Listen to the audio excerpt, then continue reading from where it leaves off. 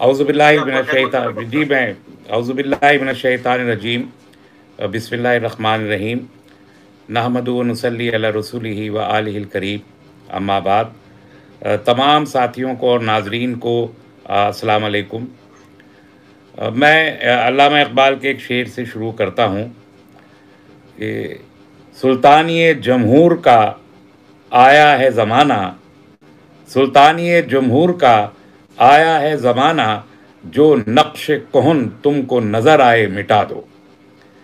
ये शेर मैंने खसूस बिहार इलेक्शन के तनाजुर में इसलिए पढ़ा कि ये 2020 का जो बिहार इलेक्शन है, ये अपने आप में एक बहुत मुख्तलिफ़ इलेक्शन है, मैं पहले भी कहता रहा हूँ।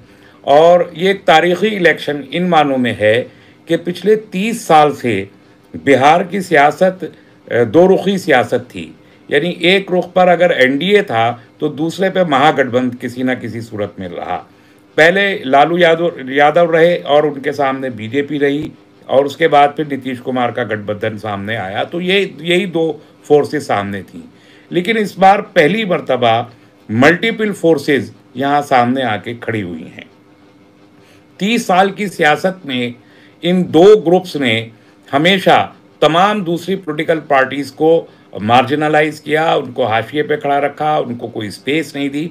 और ये मनमानी अपने करते रहे, जिसके नतीजे में बिहार को कभी जंगल राज कहा गया, कभी बीमारू प्रदेश कहा गया, और हकीकता ऐसा होता रहा। मैं अभी एक डेढ़ दो महीने से तो मुस्तकिल बिहार में रहा हूँ, अभी दो दिन के लिए दिल्ली आया हूँ सिर्फ़। लेकिन जो बिहार की हालत है, उसको देख के ये अंदाज़ा किया जा सकता है कि तीस साल बिहार किस किस्म की अनदेखी का शिकार रहा है। यानी इतना बड़ा पोटेंशियल इंडस्ट्री का वहाँ होने के बावजूद वहाँ कोई इंडस्ट्रियल ग्रोथ नहीं हुआ।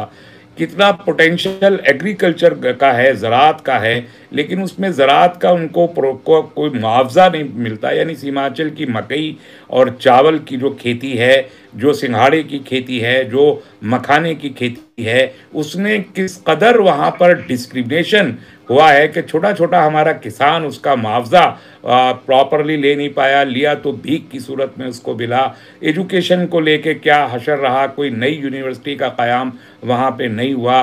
किस कदर बिहारी मज़दूर को बाहर जाके कितनी मुसीबतों का सामना करना पड़ता है? उसका पहला एक परतवा तो अभी कोविड के दौरान दिखा कि तकरीबन दो करोड़ का जो हिजरत हुई मुख्तलिफ़ जगहों से, बिहार की जानब 200 से ज़्यादा लोग मारे गए।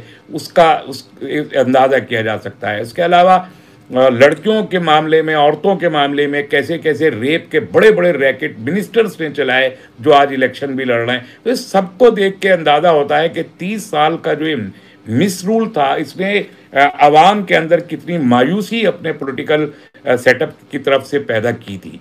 ऐसे में एस ने वहाँ पर काम हम कर रहे हैं, तकरीबन पाँच छः साल से काम कर रहे हैं। हमने सोशल लेवल पे काम किया पॉलिटिकल से ज़्यादा सोशल लेवल पे किया। जो लोगों की परेशानियाँ थीं, तकलीफ़ें थीं, बाढ़ एक बहुत बड़ा मसला है, पूरे बिहार का है। सीमांचल का भी है मिथिलांचल का भी है, कोसी एरिया का भी है। यानी नॉर्थ बिहार और नॉर्थ ईस्ट बिहार तो पूरा का पूरा बाढ़ की चपेट में बारह ज़िले रहते हैं। और उसको कभी एड्रेस नहीं किया गया। उस ज़माने में एसडीपीआई के लोगों ने जितना काम किया है कि अपनी कमर पे लोगों के कदम रख के उनको पार करवाना और जिस तरह की भी ज़रूरत थी, वो पूरी की। फिर कोविड के ज़माने में बिला लिहाज मज़हब व मिलत जो हमारे कैडर्स ने काम किया, उसकी तारीफ़ हर चार सू से हुई है पूरे बिहार में। आज जब हम जाते हैं हलकों में कैंपेन के लिए तो आप यकीन कीजिए, मैं आपको कुछ वीडियोस इस वक्त तो सरेदस नहीं लेकिन शेयर की जा सकती हैं, या फेसबुक पे भी देख सकते हैं।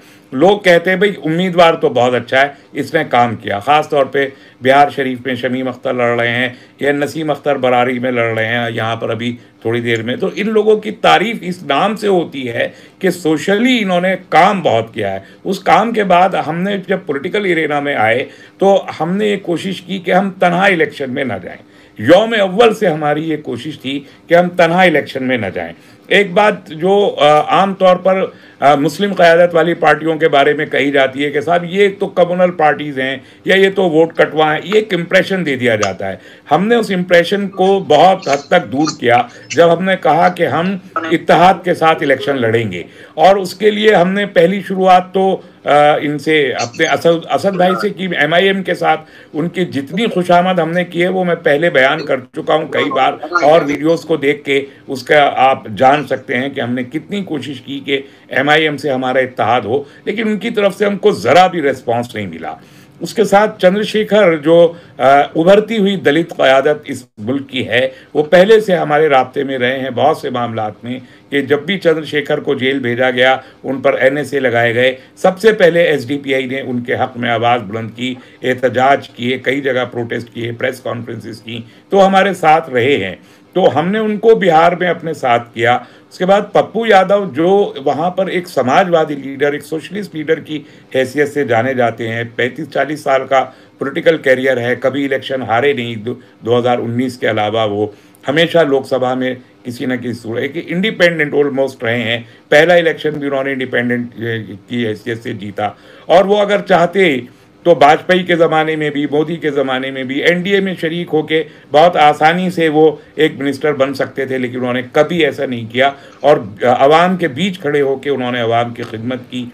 उनकी जन अधिकार पार्टी के साथ हमने रबता किया और उनके साथ ही हमारे अलाइंसिस हुए। बीएमपी के साथ हुआ, फिर प्रकाश अंबेडकर के साथ हुआ। और आज वो बहुत कोशिश करके आखिरकार अल्लाह ताला ने हमको कामयाब किया और 28 सितंबर को हमने एक प्रोग्रेसिव डेमोक्रेटिक अलायंस का वहाँ ऐलान किया, जिसमें आठ पार्टियाँ शरीक हैं जो सब इस वक्त इलेक्शन लड़ रही हैं। और अब हम एक कॉमन कैंपेनिंग वहाँ पर कर रहे हैं कि पप्पू यादव, प्रकाश अंबेडकर, चंद्रशेखर और हमारी पार्टी के लीडरान मिल के इलेक्ट बड़ी बड़ी रैलीज़ को वहाँ पर खिताब कर रहे हैं। इस सबने जो बिहार के अवाम एक अल्टरनेट चाहते थे, वो अल्टरनेट हमने वहाँ प्रोवाइड किया। दूसरी तरफ़, ये ये अब ये तीसरा एक काबिल लिहाज मोर्चा, सियासी मोर्चा वहाँ कायम हुआ। इसके साथ एक, जब हमारा ये मोर्चा कायम हो गया तो एक चौथा मोर्चा वहाँ कायम हुआ और इतफाक़ से उसको लोग समझते हैं, जानते हैं। एक कुशवाहा साहब हैं वहाँ, उनके पास उनकी कम्युनिटी का तीन चार परसेंट वोट है। और उस वोट को उन्होंने उपेंद्र कुशवाहा ने आरएलएसपी के नाम से इकट्ठा किया हुआ है अप, अपने साथ। वो पहले नीतीश कुमार के साथ पहले महागठबंधन में थे वहाँ से बाहर आए नीतीश कुमार से बात की फिर जब उनसे बात करके फिर दिल्ली आए दिल्ली में एनडीए से बात की हम उनके रबते में रहे पप्पू यादव खुद उनके रबते में रहे वो हमसे भी कहते रहे कि साहब हम आएँगे हम आएँगे। 28 को हम जो गठबंधन ऐलान ऐलान करने वाले थे, उसको रोकने की उन्होंने कोशिश की कि आप अभी दो दिन रुकिए, तीन दिन रुकिए। वो तो कहिए अल्लाह ने कुछ ऐसा किया कि हमने उनकी बात में आके उसे टाला नहीं और हमने गठबंधन का ऐलान किया। लेकिन वो एनडीए से बात किए रहे और आखिर तक वो हमारे गठबंधन में शरीक नहीं हुए। उसके बाद में फिर उन्होंने अपना एक गठबंधन बनाया। तो उन्होंने उसमें शामिल किया मायावती को और फिर उसमें एमआईएम भी उसमें शरीक हुआ। तो अब वो पूरा का पूरा, अब मायावती की जो पॉलिटिकल सिचुएशन है, जो प्लेसमेंट है मायावती का इस मुल्क में, वो अब लोगों के सामने है कि वो किस तरह कंप्रोमाइज्ड हैं एनडीए के साथ। आरएलएसपी किस तरह कंप्रोमाइज्ड है एनडीए के साथ, ये भी लोगों को अंदाज़ा है। अभी दो पॉलिटिकल पार्टीज़ के साथ में वो हैं जिनके साथ बीजेपी के कैंडिडेट इलेक्शन लड़ रहे हैं। यानी एलजेपी के साथ जो ड्रामा हुआ कि एलजेपी आखिर वक्त में एनडीए से बाहर आया। रामविलास पासवान की पार्टी। और उनकी पार्टी जो सिर्फ़ नीतीश कुमार को हराने के नाम लेके खड़ी हुई, उसने कहा कि नीतीश कुमार के खैर नहीं, मोदी से कोई बैर नहीं। आज उनके डेढ़ सौ से ज़्यादा उम्मीदवार नीतीश कुमार के के सामने खड़े हैं। गोया बीजेपी की जो साजिश है कि नीतीश को माइनस करके नंबर एक की पॉलिटिकल पार्टी बने उसमें बहुत बड़ा, बड़ी मदद फराहम कर रहे हैं एल जे पी के चिराग पासवान। और दूसरी जो ये आर एल एस पी है, इनके भी जो तकरीबन डेढ़ सौ कैंडिडेट लड़ रहे हैं, उसमें भी बीजेपी के कैंडिडेट उनके साथ लड़ रहे हैं। ऐसे में लोग बड़ी पुरुद नज़रों से पीडीए की तरफ़ देख रहे हैं और हम लोग वहाँ पर बहुत ही सीरियसली एक कंटेस्ट कर रहे हैं। जो पोल पंडित हैं सेफोलॉजिस्ट हैं, जो जिनके सर्वेज हैं, उनका अपना मानना यह है ख़ास तौर पर एसडीपीआई के बारे में आज भी ये कहा गया कि चौदह सीटें जो हम लड़ रहे हैं, अल्हम्दुलिल्लाह, सुम्मा अल्हम्दुलिल्लाह, उसमें से चार सीट के बारे में ये प्रडिक्शन आ रहे हैं कि एसडीपीआई वो सीटें जीत सकती है।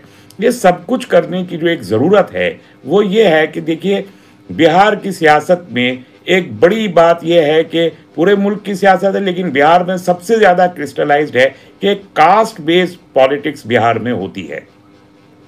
अभी आप देख रहे हैं कि दो परसेंट, तीन परसेंट, चार परसेंट की जो जाते हैं, बरादरियाँ हैं उन्होंने अपना पॉलिटिकल ग्रुपिंग की है और वो अब उन्होंने अपने पॉलिटिकल वो अपने वोट को पोलराइज किया है और वो क्लेमेंट बन गई हैं, वो चीफ मिनिस्टरशिप की दावेदारी भी कर रही हैं, सब कर रही हैं।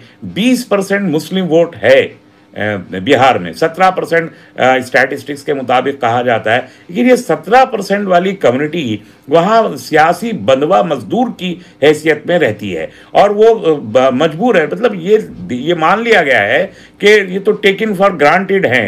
ये ये जाएँगे कहाँ? सेकुलरिज्म का जो एक हम नारा है, वो सिर्फ़ मुसलमानों के लिए बिहार में रह गया है। आज आरजेडी इलेक्शन लड़ रहा है। आरजेडी ने कभी क्या, मैंने ये सवाल किया, मैंने ट्विटर पे भी ये सवाल किया। कोई जवाब नहीं दिया गया है अभी तक। और मेरा सवाल ये है कि आरजेडी की लीडरशिप वाज तौर पर यह ऐलान क्यों नहीं करती कि वो इलेक्शन जीतने के बाद बीजेपी या एनडीए से किसी सूरत में भी हाथ नहीं मिलाएगी? ये हल्फिया बयान आज तेजस्वी यादव क्यों नहीं देते? हम सवाल कर रहे हैं। हमने उनसे सवाल किया है कि बाबरी मस्जिद के बारे में उनका स्टैंड क्या है वाजे करें। और ये सवाल हमने इसलिए किया है कि पाँच अगस्त को जो अभी शिलान्यास राम मंदिर का हुआ, चांदी की ईंटें भेजी हैं तेजस्वी यादव ने। हम पूछना चाहते हैं, हमारे साथ एक नाइंसाफी हुई है। पूरा मुल्क कह रहा है, सारी दुनिया कह रही है कि जो वर्डिक्ट आया है सुप्रीम कोर्ट का, वो इंसाफ पे मबनी नहीं है। और हमारा एक स्टैंड है उसको उसको लेके। उस स्टैंड को क्लियर करें। तेजस्वी यादव भी अगर वो सेकुलरिज्म के दावेदार हैं और वे समझते हैं कि सारा मुस्लिम वोट पोलराइज होकर उनको मिलना चाहिए, उनका हक है तो वो वो बताएँ उसके बारे में। कि उनका स्टैंड क्या है। दूसरे सीए और एनआरसी के मूवमेंट को लेके पूरे मुल्क खड़ा हुआ, तमाम सोशल जस्टिस की फोर्सेस खड़ी हुई। आज उस बीजेपी के लोग और खुद बहुत सारी अदालतों ने भी कहा, बहुत सारी रियासती सरकारों ने हरकत की है कि तमाम लोग जो सीए के मूवमेंट में शरीक थे, उनके ऊपर पुलिस के ज़रिए टॉर्चर उनको किया जा रहा है हेरेस्ट किया जा रहा है, कहीं अरेस्ट किया जा रहा है लोगों को, कहीं पुलिस थानों में बुला के महीनों पूछताछ कर रही है। बुरे तरीके से वो तमाम लोग जो सीए और एनआरसी के मूवमेंट में कहीं ना कहीं शरीक हुए हैं, उन तमाम लोगों को महाराष्ट्र में भी, तेलंगाना में भी, राजस्थान में भी, दिल्ली में भी, उत्तर प्रदेश में भी, खुद बिहार में भी उन लोगों को टेरराइज किया जा रहा है, उनको हैरेस किया जा रहा है, उनको ये डिमोरलाइज किया जा रहा है कि वो आइंदा इस किस्म का कोई मूवमेंट खड़ा करने की, उनके अंदर कोई सलाहियत बाकी न रहे। दूसरी तरफ़ जेपी नड्डा फिर ऐलान कर रहे हैं कि साहब हम तो सीए ला के रहेंगे। एनआरसी पे खामोश हैं, सीए फिर ला के रहेंगे। तो इलेक्शन के मौके पे एक तरफ़ वो ये ऐलान कर रहे हैं, दूसरी तरफ़ दूसरी जो पॉलिटिकल पार्टीज़, जो सेकुलरिज्म के नाम पे मुसलमानों का वोट लेना चाहती हैं, उनके मुँह में दही जमा हुआ। वो एक लफ्ज नहीं बोलते इस मामले में, जबकि एक डेमोक्रेटिक, एक राइटफुल और लीगल और कॉन्स्टिट्यूशनल मूवमेंट था जो इस मुल्क पे हमने खड़ा किया। उस पर क्या स्टैंड है? तेजस्वी यादव का, वो बोलने को तैयार नहीं है। दूसरा, हमने कहा कि आपने जो मैनिफेस्टो दिया है, उस मैनिफेस्टो में आपने माइनॉरिटीज के बारे में, मुसलमानों के बारे में, बाढ़ के बारे में आपने कुछ भी नहीं कहा तो आप एक स्टैंड तो लीजिए। कि आप माइनॉरिटीज को क्या पैकेज देंगे? अगर आप इकतदार में आ गए, उस पर कोई कोई जवाब नहीं है। तो आप माइनॉरिटीज को सत्रह परसेंट के इस, इतने बड़े ग्रुप को लेके आप बिल्कुल, खामोश हैं, एक लफ्ज बोलने को तैयार नहीं है, उन इश्यूज़ को लेके कोई बात करने को तैयार नहीं है, और कुछ लीडर्स यहाँ पर जो उनके खरीदे हुए लीडर हैं, उनकी तरफ़ वो वोट को धकेल रहे हैं। कि बीजेपी को हराना है। ये खौफ की सियासत जो 40 साल से की जा रही है, उसको वो कुछ अपने जर खरीद मुसलमानों के ज़रिए भी उसको प्रमोट कर रहे हैं, खुद भी प्रमोट कर रहे हैं, और ये माना जा रहा है कि अगर सेकुलर सरकार बनानी है तो तेजस्वी यादव को ही वोट देना पड़ेगा, जबकि अवाम का रुझान उससे बिल्कुल मुख्तलिफ़ है। अभी एक बहुत बड़ा तबका वो है जो ये समझता है कि हमारी क़्यादत वाली सेकुलर पार्टियों को इकतदार में आने का मौका अब मिलना चाहिए। और ये, अगर अब भी ये मौका नहीं मिला तो आखिर ये मौका हमको कब मिलेगा? जबकि तेजस्वी यादव के बारे में ये बड़ा क्लियर हो गया है कि वो खुद भी अब एक कंप्रोमाइज कैंडिडेट हैं। नौ नवंबर को, यानी दस, सात को इलेक्शन खत्म होगा, दस को रिज़ल्ट आएगा। नौ नवंबर को आखिरी केस में लालू प्रसाद यादव की जमानत हो जाएगी और वो जेल के बाहर आ जाएँगे। हम ये कहते हैं कि ये डील किस बुनियाद पर है और ये डील किससे की गई है? और इस डील का मतलब क्या है? बिहार में, सही मानों में पॉलिटिकल डिस्कोर्स क्या होगा? ये दस तारीख को इलेक्शन आने के बाद तय होगा। इसलिए कि जितने ये गठबंधन है, ये चारों गठबंधन, ये चारों टूटेंगे और नई एक एक, वहाँ पर शिराजाबंदी वहाँ होगी और एक नई अंदाज की सरकार बनेगी। तो हमको इस बात का भरपूर शुभा है और जिस शुबे के इजाले के कोई इकदाम तेजस्वी यादव की जानब से या महागठबंधन की तरफ़ से नहीं किए गए हैं कि कल बीजेपी और आरजेडी का अलायंस होगा या नहीं होगा। हमको शुभ है कि अलायंस होने जा रहा है। तेजस्वी यादव का बीजेपी के साथ अलायंस होने जा रहा है और ये शुभे को हमको इसलिए भी तकवीत मिलती है कि 1990 में लालू प्रसाद यादव की पहली सरकार बीजेपी के कंधों पर पैर रखकर बनाई गई है। बीजेपी की हिमायत से बनी है। बीजेपी ने लालू प्रसाद यादव को वोट करके 1990 में उनको चीफ मिनिस्टर इंस्टॉल कराया था। तो जब जिनकी बुनियाद में बीजेपी शामिल है, वो आगे चल के जितने उनके ऊपर करप्शन के केसेस हैं, पूरी फैमिली के ऊपर तो वो कंप्रोमाइज क्यों नहीं हो सकते आखिर? अभी बीजेपी नीतीश कुमार को माइनस कर रही है। हर तरीके से कोशिश कर रही है कि नीतीश कुमार माइनस हो जाए तो उनसे वो निजात हासिल कर ले। वो कंपेंसेट करना चाहते हैं उसको आरजेडी के साथ। और आरजेडी आज सेकुलरिज्म का लिबादा पहन के और वो मुस्लिम वोट चारों तरफ़ लेके वही करना चाहती है, जो 2015 में नीतीश कुमार ने किया था।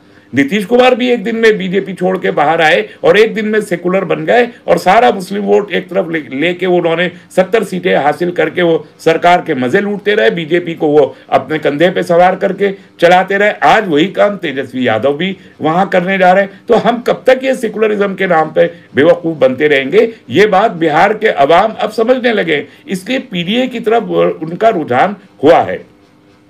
मुझे इस बात का बड़ा इतमान भी है और खुशी भी है कि ये जो पॉलिटिक्स हमने कम्बिनेशन की पॉलिटिक्स शुरू की है। एसडीपीआई को तो बार बार मार्जिनलाइज करने की कोशिश की गई है।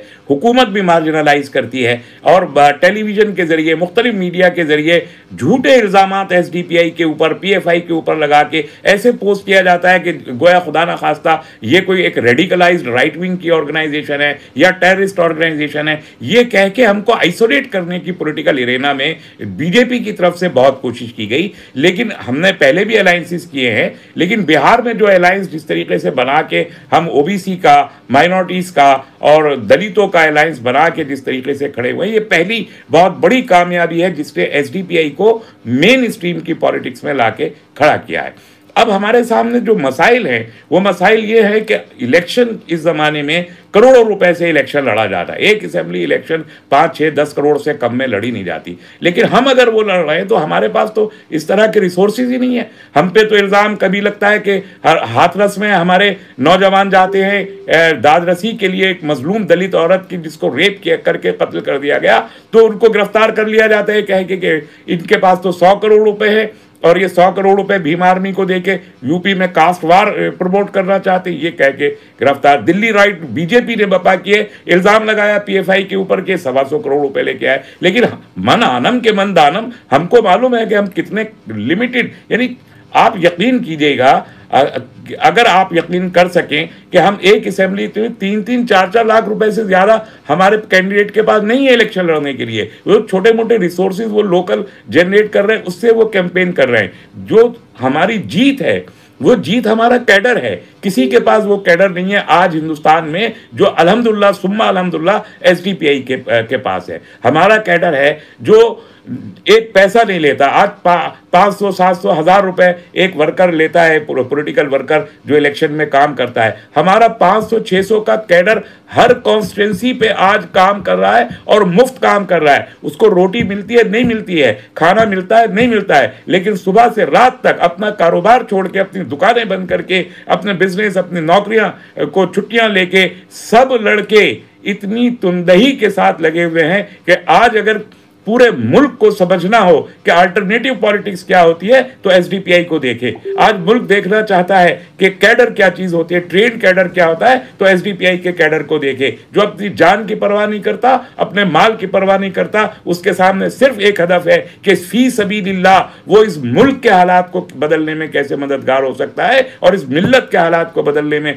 कैसे मददगार हो सकता है, ये ये काम है जो हमारा कैडर केरल से लेकर बिहार तक सत्रह स्टेट्स में कर रहा है और हर इलेक्शन में वो इसी तरीके से काम करता है। तो ये जितने नौजवान हमारे साथ हैं, ये हमारा असल असेट है, जिसके लिए हम इतने कम पैसे में भी एक बेहतरीन इलेक्शन लड़ रहे हैं। तमाम चौदह सीटों पर हम फाइट कर रहे हैं। एस एक कंसिडरेबल फोर्स की हैसियत से वहाँ मौजूद है। आप में से कुछ लोग अगर इस वक्त यहाँ बिहार में होते आपको देख के कि वो वो कैडर किस तरीके से कुर्बानियाँ दे के अपनी जान पे खेल के कोई परवाह नहीं है कि वो कब जेल भेज दिया जाएगा कब उसके ऊपर झूठे इल्ज़ाम लगा दिए जाएँगे। मगर एक भी आपने सुना है कि कभी एसडीपीआई का कोई कैडर इस, इस खौफ से कि वो जेल चला गया तो उसने पार्टी छोड़ी?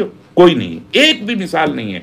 सैकड़ों लड़के हैं आज भी उत्तर प्रदेश में भी राजस्थान में भी तमिलनाडु में भी जिनको जेल भेजा जाता है जिनको रोज थाने बुलाया जाता है। एक के पाए इस, इस, माम में कोई तजलजुल वाक़ नहीं हुआ है। ये फोर्स है एस डी पी आई की और अल्लाह की नुसरत है कि उन्होंने उनके दिलों में ये जज्बा डाला है और उस जज्बे के साथ हम बिहार में वो इलेक्शन लड़ रहे हैं। और ये बात याद रखिए कि जब नौजवानों में एक उकाबी रूह बेदार होती है, कुर्बानी के जज्बे पैदा होते हैं। तो कुर्बानी के जज्बों के साथ जो डेडिकेशन जो कमिटमेंट पैदा होता है, वो कमिटमेंट आज बिहार में हमें पे बैक करने वाला है। मैंने कहा कि चार असेंबली सीट्स पर यह प्रडिक्शन आ रहा है मुख्तलिफ़ जगहों से कि एसडीपीआई इलेक्शन जीतने जा रही है। थोड़ी सी मेहनत और करनी है। तो हमारे तमाम लीडर्स बिहार में मौजूद हैं। मैं दो दिन के लिए आया, सुबह जा रहा हूँ। हमारे प्रेसिडेंट फैजी साहब भी जा रहे हैं, जनरल सेक्रेटरी मजीद साहब वहाँ मुस्तकिल मौजूद हैं, शफी साहब जा रहे हैं लियास तुम्बे साहब, सारे लीडर्स फैले हुए हैं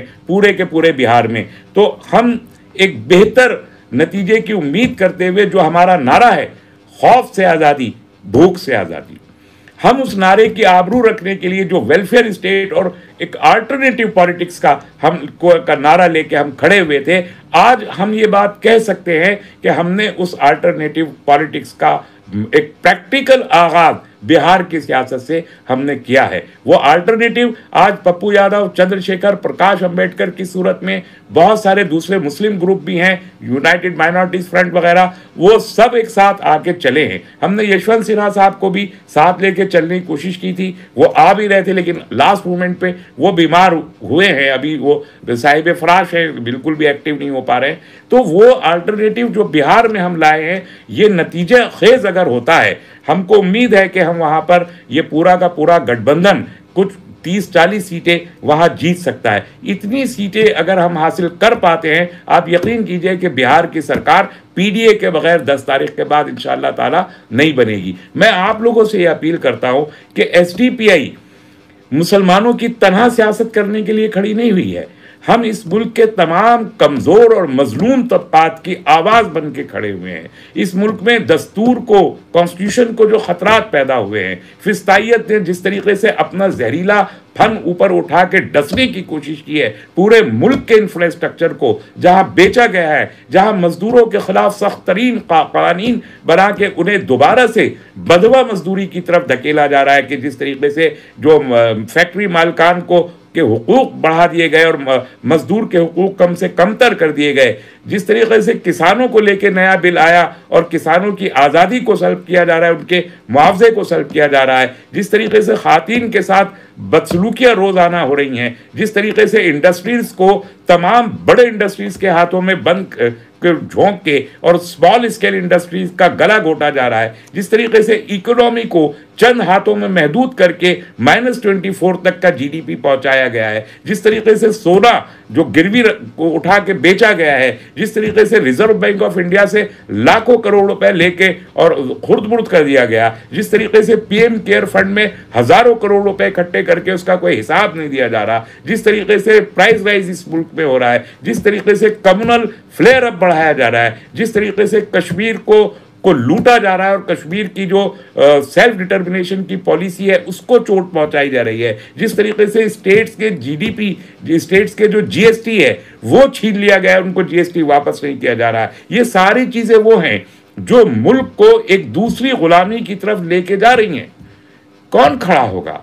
आज कांग्रेस खुद जहाँ खड़ी है, वो सॉफ्ट हिंदुत्व की पॉलिटिक्स कर रही है। कांग्रेस भी खुल के बात नहीं कर रही है। खुद जो जितनी कम्युनिस्ट पार्टीज़ हैं, उनका भी बैकबोन टूट चुका है। एसडीपीआई ही एक ऐसी इस सूरत में वहाँ खड़ी है कि जहाँ वो नज़र से नज़र मिला के आरएसएस का मुकाबला करने को तैयार है। वो कोशिश कर हम ये कर रहे हैं कि वो फोर्सेस जो अभी कंप्रोमाइज नहीं हुई हैं बीजेपी के साथ, हम उनको इकट्ठा कर लें कहीं ना कहीं। और वो आ रही हैं, वो पुरुद नज़रों से एसडीपीआई की तरफ़ देखा भी जा रहा है और एसडीपीआई खुद वो कोशिश भी कर रही है। ये वो सारी चीज़ें हैं जो एक ऐसी हालत पैदा कर रहे हैं कि जिसमें मुल्क को बचाने के लिए, मुल्क की आज़ादी को बचाने के लिए, मुल्क के दस्तूर को बचाने के लिए, एक हज़ार साल मुश्तर तहजीब को बचाने के लिए हमें एक सियासी मुराजियत करनी पड़ेगी और हमको सियासी तौर पर मज़बूत होकर खड़ा होना पड़ेगा। दलित फोर्सेस के नाम पर जो फ्रॉड किया गया, जो ओबीसी फोर्सेस के नाम पर फ्रॉड किया गया, उस सारे फ्रॉड को एसडीपीआई समझती है और इसलिए एक नए पॉलिटिकल अलाइनमेंट क्रिएट करके इस इस फिस्ताई टोले से लड़ने के लिए हम लोग आके सामने खड़े हुए हैं। बिहार उसका पहला टेस्ट है। और उस टेस्ट में हम इस हद तक कामयाब तो पहले ही हो चुके हैं कि हमने एक अलायंस बना लिया। अब कामयाब seat in term of seat और इन टर्म ऑफ़ वोट होना है, जो दस तारीख को हमें मालूम हो जाएगा। तो ये बात समझनी चाहिए कि खाली एक कॉन्स्टिट्युएंसी पे वोट डालने का ये कॉन्स्टिट्युएंसी को जीतने का मसला नहीं है। एक ideological cadre based political organisation जो सबको साथ लेके चले और दस्तूर और मुल्क की आज़ादी को बचा सके, ये असल हदफ है, जो एसडीपीआई के सामने है। और इसीलिए हमारा जो वो नारा है कि खौफ से आज़ादी, भूख से आज़ादी। हर किस्म का खौफ, हर तबके में जो खौफ मौजूद है, हर किस्म की भूख, और हर तबका जो किसी न किसी तरह भूख से इन्वॉल्व है, हम उन सबको गले लगा के चलना चाहते हैं। और इसलिए आप देखिए, पूर्णिया सदर की जो सीट है, वहाँ जो जो कैंडिडेट है, वो विजय उराव ट्राइबल कम्युनिटी से आते हैं। सबसे ज़्यादा बैकवर्ड सेवन परसेंट ट्राइबल्स हैं इस मुल्क में। सबसे ज़्यादा बैकवर्ड है। उनके पास कोई लीडरशिप नहीं है। पूरे मुल्क में कोई लीडरशिप नहीं है। बिहार में भी उनकी कोई कोई लीडरशिप नहीं है। हमने एक ट्राइबल लीडर को सामने ला के पूर्णिया की सीट पे खड़ा किया है। एक जनरल सीट है। जनरल सीट पर ट्राइबल को खड़ा करके एक मैसेज दिया है। कि हम एक कॉमन कल्चर में यकीन रखते हैं और पॉलिटिकली बार्जिनलाइज लोगों को मेन स्ट्रीम पॉलिटिक्स में हिस्सेदारी हम देना चाहते हैं? और इतना स्ट्रांगली विजय और पूर्णिया सीट पे लड़ रहे हैं कि लोग कहते हैं कि इनके जीत के आसार सबसे ज़्यादा है। तो ऐसी ऐसी बहुत सी सीट पर यही पॉलिटिकल एक्सपेरिमेंट्स हैं जो एसडीपीआई ने किए हैं। तो कांग्रेस या आरजेडी, ये तमाम वो जानी पहचानी फोर्सेस हैं कि जिनके मजीद एक्सपेरिमेंट करने की हमको कोई ज़रूरत नहीं है। जहाँ हम लोग, पीडीए तमाम 243 सीट पे इलेक्शन लड़ रहा है तो एक अल्टरनेट की हैसियत से वो वहाँ मौजूद है। अगर हम आज भी आरजेडी की तारीफ़ करते रहते हैं और जुनूनी अंदाज में हम वोट करते हैं, जो जो कोई प्रोपेगंडा किया जा रहा है कि भीड़ इकट्ठी करके उनकी रैलियों में कि वोट उनकी तरफ़ जा रहा है, ये महज एक प्रोपेगंडा है। मैं आप हजरात से ये अपील करना चाहता हूँ इस प्रोपेगंडे का शिकार हुए बगैर, एक तजुर्बा 2015 में जो आप कर चुके हैं 2020 में उसको मत कीजिए। 2015 में भी आपने किया था कि आपने नीतीश कुमार को, इनको आँखें बंद करके आपने अपने किसी भी हक का इस्तेमाल किए बगैर, कुछ पूछे बगैर, कोई सवाल किए बगैर, इनको क्या हम चिल्लाते रहे उस वक्त भी? कि ये आ, ये आखिरकार बीजेपी की तरफ़ जाएँगे। और अगले छः महीने में वो देखा आज हम फिर कह रहे हैं कि हमको इस बात का पूरा शुबा है कि जो राजनीति बीजेपी कर रही है वो राजनीति आरएलएसपी और एलजेपी के ज़रिए खुद को सिंगल लार्जेस्ट पार्टी बनाने की साजिश है, जिसमें वो आरजेडी को आगे चल के इस्तेमाल कर सकती है और आरजेडी आज भी अपने पत्ते खोलने को तैयार नहीं है। अगर दो दस नवंबर के बाद आरजेडी उधर जाती है तो आप क्या करेंगे? फिर आप खुद ही सोच के देख लीजिए। आज समझिए इस बात को। और हमको सपोर्ट कीजिए। आपके तमाम लोग यहाँ मौजूद हैं। आप अभी second phase and third phase का पोलिंग होना बाकी है। आज फ़र्स्ट फ़ेज़ के पोलिंग में 54 परसेंट के करीब एक जो नॉर्मल पोल बिहार का है, उससे एक डेढ़ परसेंट ही कम हुआ है। हम समझ रहे थे कि बहुत कम होगा कोविड की वजह से, लेकिन ऐसा नहीं हुआ। नॉर्मल पोल हुआ है, जितना होता है बिहार में। तो second phase and third phase में ये पोलिंग और बढ़ेगा। और जितने आपके रिसोर्सेज यहाँ हैं, या जितने लोग मुझे सुन रहे हैं, मैं उन सबसे अपील करता हूँ कि आप अपने इलाकों में अपने लोगों का पोलिंग ज़्यादा से ज़्यादा करवाइए। जितना मैक्सिमम वोट आप करेंगे, उतना ज़्यादा आपके हक में होगा। कोविड से डरिए नहीं, बल्कि बाहर निकलिए। बहुत से इंतज़ाम इलेक्शन कमीशन ने किए हैं कोविड के दौरान भी। वहाँ पर उससे बचाव के, उनको इख्तियार करते हुए हमारे अपने इलाकों से कम से कम 80 परसेंट पोलिंग यूनिलेटरली इस थर्ड अल्टरनेटिव फोर्स के हक में होना चाहिए। ये नतीजा हमारे हक में आने जा रहा है और हम इलेक्शन के बाद जो अर्थमेटिक है पॉलिटिकल अर्थमेटिक बिहार का, वो बदलेंगे। आखिरी बात मैं ये कहना चाहता हूँ कि हम एक विजन के साथ लड़ना है। सिर्फ़ इसलिए नहीं है कि हम इलेक्शन लड़ के जीतेंगे।